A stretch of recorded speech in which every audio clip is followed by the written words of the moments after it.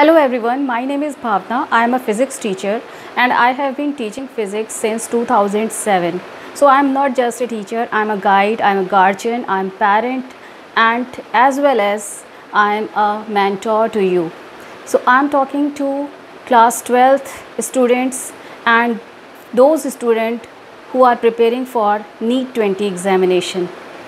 बेटा आप लोगों ने मार्च से प्रिपरेशन जो बच्चे लास्ट ईयर जिन्होंने ट्वेल्थ क्लास कंप्लीट किया था, उन बच्चों ने वन ईयर से प्रिपरेशन कर रहे हैं नीट एग्ज़ामिनेशन के लिए और जिन बच्चों ने अभी ट्वेल्थ क्लास में बोर्ड एग्ज़ामिनेशन दिया है, वो बच्चे अभी मार्च से प्रिपरेशन कर रहे हैं and almost six months have gone okay so in this preparation so so, अभी आप लोग ये कह रहे हो और बाकी हम लोग भी यही चाहते हैं कि गवर्नमेंट का जो ये डिसीज़न आया है एनटीए के थ्रू दैट कि NEET examination must be held on thirteen of September पहले ये जुलाई में होने वाला था अब ये थर्टीन सेप्टेम्बर को होने वाला है।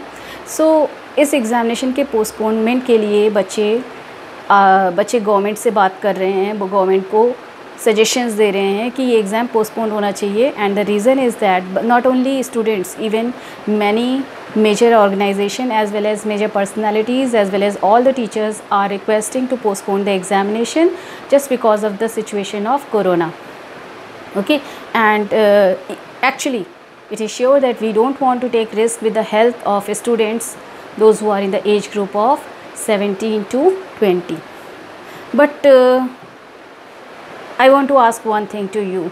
It may be some harsh to you, but i want to ask it because मैं आपके लिए कुछ ऐसी बातें नहीं बोलूँगी जो आपके सिर्फ़ फेवर में ही हों। बच्चे जनरली यही चाहते हैं पेरेंट्स से या गार्जियन से कि जो उनके फेवर की बात हो, जो उनका माइंड सेट हो सिर्फ़ वही बातें होनी चाहिए। और जो उनकी अपोजिट बातें होती हैं, बच्चे जनरली उस चीज़ को अपोज करते हैं और उस पर्सन को लाइक नहीं करते। मे बी आप भी मुझे लाइक ना करो। But I just want to ask to you one thing कि क्या ये कोरोना ही एक रीज़न है जिसके बेसिस पर आप ये एग्ज़ाम पोस्टपोन कराना चाहते हो? पहले जब ये एग्ज़ामिनेशन जुलाई में होने वाला था, अब ये पोस्टपोन होकर के सितंबर में आ चुका है, ठीक है? सो दैट मीन्स कि ये थ्री मंथ का गैप ऑलमोस्ट हुआ है। तो ऐसा आप लोग इसलिए चाहते हो कि कोरोना की सिचुएशन है, एक सिटी से दूसरे सिटी ट्रैवल करना पड़ेगा एग्ज़ामिनेशन सेंटर पे क्लोज़ बाई होकर के बैठना पड़ेगा। पहले तो गवर्नमेंट ने जो एडवाइज़री पब्लिक की है, उस एडवाइज़री के थ्रू पर्सनस के बीच में प्रॉपर गैप रखा जाएगा, जो ऑलमोस्ट वन मीटर का गैप पहले से ही कोरोना के लिए कहा जाता है, वो वन मीटर का नहीं, बल्कि एक बेंच में टू पर्सनस टू स्टूडेंट्स ही बैठेंगे विद लार्ज ह्यूज गैप और हर एक बच्चों के बीच में गैप की सिचुएशन या उसकी जो भी इन लोगों की अपनी एक एडजस्टमेंट है, वो सारी की सारी एडवाइज़री अभी गवर्नमेंट के थ्रू आनी है एग्ज़ामिनेशन सेंटर में किस तरीके से ये सिचुएशन को हैंडल करेंगे बच्चे, ये सारी की सारी सिचुएशन आनी है। बच्चे को ट्रैवलिंग करनी पड़ेगी तो जनरली जब आप एग्ज़ामिनेशन फॉर्म भरते हो, जब भी कोई आप फॉर्म एप्लीकेशन फॉर्म भरते हो तो उस फॉर्म में आप नियर बाई सेंटर चूज़ करते हो। तो आई एम श्योर कि आप लोगों ने अभी भी जितने भी बच्चों ने फॉर्म भरा था नीट का, उन्होंने नियर बाई सेंटर चूज़ किया होगा। तो अगर ट्रैवलिंग की बात है तो नियर बाई के लिए आप ट्रैवलिंग कर सकते हो और आप स्टे भी कर सकते हो। जब भी आप चूज़ करते हो तो आप ये देखते हो कि आपके रिलेटिव या फैमिली या अगर नहीं भी है तो आप वन डे के लिए अप डाउन कर सकते हो। First situation second situation is that कि अभी जब कोरोना चल रहा है तो क्या 17 से 20 एज ग्रुप के जितने भी बच्चे हैं, क्या वो बच्चे अभी बाहर नहीं निकलते? क्या आप लोग बाहर फ़ूड खाने के लिए नहीं जाते हो? क्या आप अपने फ्रेंड से नहीं मिल रहे हो? आप सिर्फ़ होम बाउंड है? आप सिर्फ़ एक रूम में या अपने घर पे ही बाउंड हो? आप बाहर नहीं निकल रहे हो या आपके फादर बाहर नहीं निकल रहे हैं, आपके मदर बाहर नहीं निकल रहे हैं? क्या आपके फादर जॉब पे नहीं जाते? हैं वो भी ऑफ़िस में जा रहे हैं।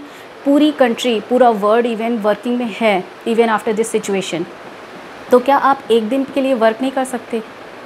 ठीक है? आप समझ रहे हो मैं क्या कहना चाह रही हूँ? देखो, अगर आप अपने आप को मेंटली प्रिपेयर करोगे, अगर आप मेंटली स्ट्रॉन्ग हो तो ये श्योर है कि चाहे जिस तरीके की भी सिचुएशन हो, आप हर एक चैलेंज को फेस करने के लिए रेडी हो। फ़िज़िकल अनफिटनेस तब आती है जब मेंटल अनफिटनेस होती है। कोरोना के जितने भी पेशेंट हैं, अगर आपने अच्छे से न्यूज़ देखी है तो वो पेशेंट रिकवर हो रहे हैं, जो मेंटली स्ट्रॉन्ग है, जो रूटीन को फॉलो कर रहे हैं, जो एडवाइजरी को फॉलो कर रहे हैं, वही पेशेंट्स ठीक हो रहे हैं। और ऑब्वियसली आपने रिकवरी पेशेंट देखे होंगे कि that recovery patients are more and the persons who are severely affected by this disease are those persons who are already those who are already being uh, in problematic situation those who are already being having some kind of disease in their body. आप समझ रहे हो मैं क्या कहना चाह रही हूँ? तो अपनी अपनी माइंड में अपनी बॉडी में वो डिज़ीज़ मत पालो कि आपको एग्ज़ामिनेशन से फियर लगने लगे। आप एक्चुअली ये सिचुएशन किस चीज़ की है कि आपको एग्जामिनेशन से फियर लग रहा है। This is not the fear of corona I am sure about it आप प्रिकॉशन लो, आप डिस्टेंस मेंटेन रखो, आप मास्क लगाओ, आप सैनिटाइज़र कॉन्टिन्यूशन में यूज़ करो. इवन मैं भी एक एग्ज़ाम देने गई थी मार्च मंथ में, जब कोरोना पीक पर चल रहा था इंडिया में. उस समय मैंने पूरी प्रिकॉशन ली थी और मुझे अभी तक तो ऑब्वियसली मुझे कोरोना नहीं हुआ है. एंड थैंक्स टू गॉड कि किसी को भी कोरोना ना हो. Okay okay? तो ये जो मेंटल अनफिटनेस है, इसको पहले रिकवर करो. आई एम श्योर कि आपका ये एक रीज़न नहीं है। आपको सिर्फ़ एक ये एक्सक्यूज़ मिला है कोरोना का, जिसकी वजह से आप एग्ज़ामिनेशन को पोस्टपोन करने की बात कर रहे हो। Be strong mentally and physically first thing आप सारे प्रिकॉशंस को फॉलो करोगे तो आपको कोई प्रॉब्लम नहीं आएगी। अब बात आती है प्रिपरेशन की। कम टाइम पे प्रिपरेशन कैसे करनी है? वो सारी की सारी आपको जितनी भी गाइडेंस चाहिए, उसके लिए भी मैं एक वीडियो बनाने चाहती चाह रही हूँ और वो वीडियो मैं अभी कुछ ही टाइम में अपलोड भी कर दूँगी। तो वो प्रिपरेशन सब्जेक्ट वाइज प्रॉपरली करते रहो, कभी भी अपनी प्रिपरेशन मत छोड़ो। और वो प्रिपरेशन आप तब कर पाओगे जब आप अपने आप को मेंटली प्रिपेयर करोगे कि मुझे थर्टीन सेप्टेम्बर को एग्ज़ामिनेशन देने जाना है। ठीक है? सिचुएशंस बहुत पुअर आती हैं बट आपकी कैपेबिलिटी होनी चाहिए कि उस सिचुएशंस को किस तरीके से हैंडल करना है, किस तरीके से डील करना है और किस तरीके से उस सिचुएशन को विन करना है। हो सकता है कि आपका इसी बार नीट में सिलेक्शन हो जाए।